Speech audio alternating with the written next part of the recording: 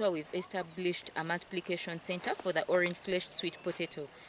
Uh, the multiplication center is established on one acre of land and as you can see these vines are 13 days old. They were planted 13 days ago and the main focus for this is to multiply vines within Kotido district for which we can distribute to the entire community so that they can produce their own sweet potatoes and enhance the food security in their households.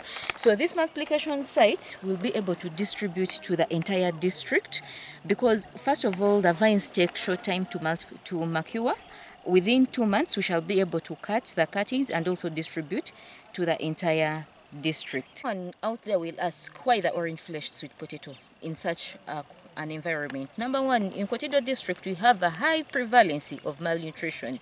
For those of us who are familiar with GAM, our GAM was at 14.5, which is really high. So we are looking at a food security crop that is dense in nutrients and sweet potato is the answer to all our questions. Now, first of all, the orange flesh sweet potato is very rich in vitamin A, which is very important in the immunity of the body, building the immunity to fight diseases against, uh, fight diseases and also fight malnutrition in the long term.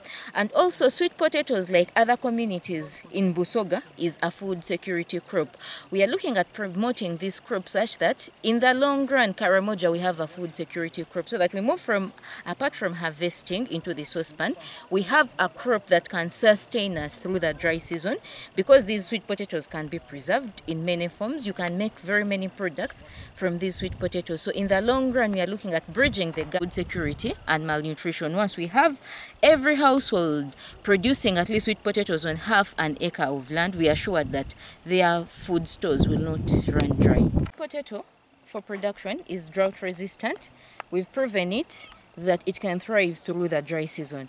But besides that, as a school being our multiplication site, we are supporting the school with an irrigation system to see that there is constant water supply all through the year so that we can produce vines and supply continuously.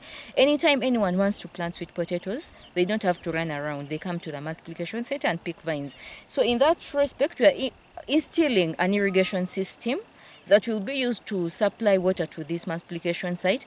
And in the long run, by the way, not only looking at this multiplication center, we are looking at expanding. If you can see the other side, we still have lots of land for which we look at expanding because we know that our demand is going to be high.